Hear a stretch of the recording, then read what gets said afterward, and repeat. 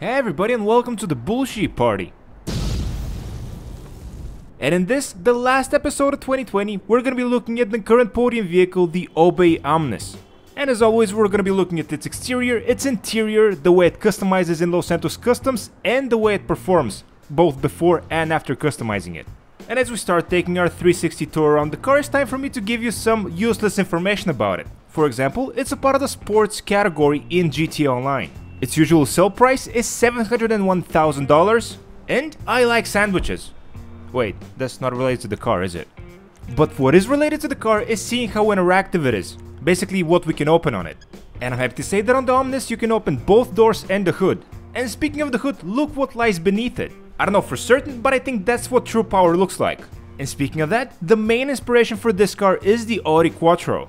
And one more fact I want to share with you about the car before we get in it, is that it was released in 2016, so 4 years ago as of the making of this video and that's probably gonna have an impact on the customization when we get to Los Santos Customs. And no, this wasn't a cut, the game just decided to teleport me in. But anyway, here we are in the interior and it looks very off-roady. And it sounds... I'd say very off-roady as well. I'm really excited to see how we can customize this at Los Santos Customs, so without any further ado, let's get going. And as usual, at the start of our journey, it's time to see if this is a rear-wheel drive or a nor-wheel drive or, ugh, a front-wheel drive vehicle. And it's confirmed the Omnis is a four-wheel drive car. What that means is that all four wheels have power all the time. Not to be confused with an all-wheel drive car, where the power of the car is distributed throughout the different wheels depending on how it handles. And if you want to hear my first impressions of this car, you need to like the video. Thank you. So it definitely feels very solid and very stable on snow. And keep in mind, I'm talking about the stock vehicle here. Honestly, my first impressions were, why wasn't this the podium vehicle last week? It would honestly make so much more sense seeing how this is a four-wheel drive vehicle and it's snowing outside. Or even if it wasn't presented as the podium vehicle. Give it to the players for free like you did with the Brioso 300. And for those of you who haven't seen it, I'm gonna put the review of it right here. But spoiler alert, the main issue that I had with the vehicle was that on snow it was barely drivable. So once again, I have to question the decision to make it the Christmas gift. But anyway, back to the Omnis, I really like how this car handles in these conditions. The main issue I have with it so far are the brakes, they're not that good. But hopefully that's something that we can upgrade in Los Santos Customs. Speaking of, time to get in. And here we are in Los Santos Customs and the weirdest thing happened. Even though I bumped and scraped and crashed the car on my way over here, it didn't charge me for the repair. Weird. But one thing that isn't weird is that we're gonna upgrade all the performance options up front. This way we're not gonna forget anything performance wise at the end. And this way we can also familiarize ourselves with all the customization options that we're gonna do to the car. Speaking of, and as I said at the beginning of the video, this is a 2016 released car. And this is confirmed with the first customization option. You're basically getting a binary choice, do you want a new exhaust or not? The next option we're gonna be looking at are the liveries. And you guys probably know that I'm not the biggest fan of them. So this is probably just the perfect opportunity to get rid of them altogether. And after we're done with this, we're going to the best customization option. And of course I'm talking about customizing the license plate to be black and yellow. And after we're done with that, we're back to the regular lame customization options like the spoiler. Something I want to mention here that I found peculiar is that the traction bar doesn't increase or decrease depending on the spoiler you selected or even if you remove it altogether. And I can't really recall but I think this is the only vehicle that I've seen this on. But if I'm wrong, I'm sure you guys are gonna let me know in the comment section down below. You rude pigs. And even though we're going for a rally car here, I went with the sport suspension, which is the lowest one. The difference between the suspension heights was very minimal, so I decided to go with the one that I think looked the best. And speaking of things looking their best, it's time to change the wheels on this one. And since I do consider this car to be an off-road vehicle since it's a rally car, I went with off-road wheels. And to the best of my knowledge, the wheel type does not impact the way the car handles. But what does make an impact on the way the car handles is the tire design you choose for it. There. Now the car handles twice as well and is three times faster. It was a horrible joke made by the BullSheep Party Incorporated. The BullSheep Party absolves themselves from any responsibility due to a miscommunication in this video. Peace and love, peace and love.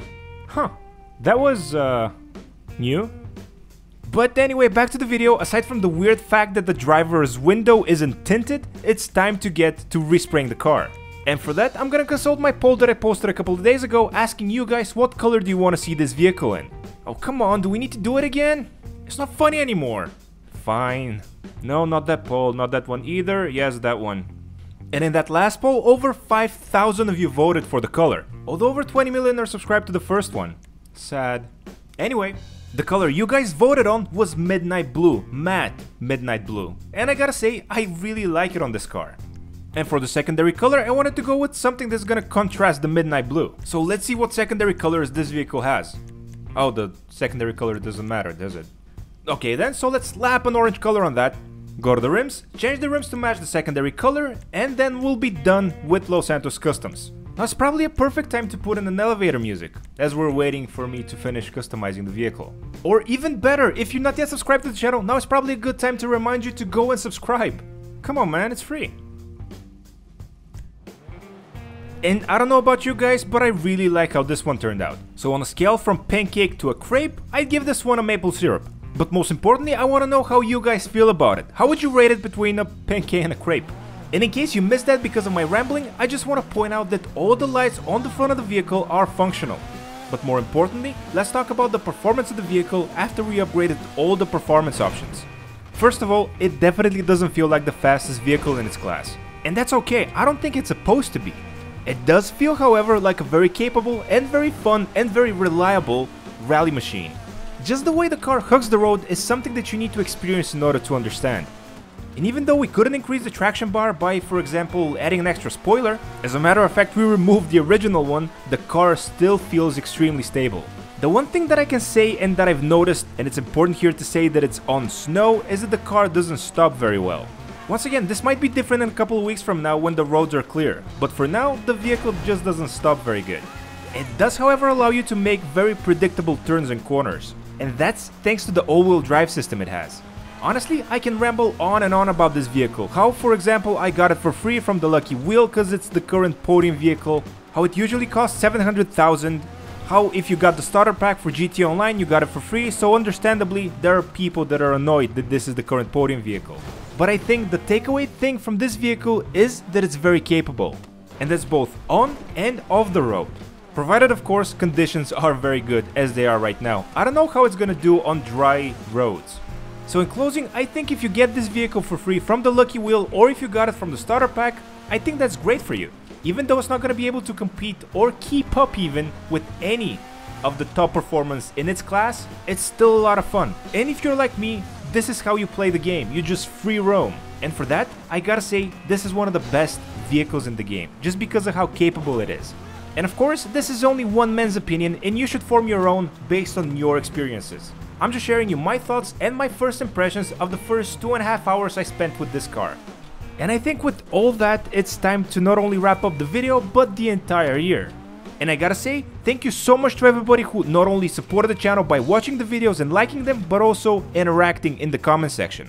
We reached our goal for 25,000 for this year, so let's aim for 100,000 next year. Or maybe even 101,000. Or if I'm feeling very adventurous, 102,000. But definitely not more than that. Once again, hope you guys had a good Christmas, hope you're gonna have a good New Year's, hope Santa didn't put you on his naughty list, and with all that said and done, I'll catch you guys next year.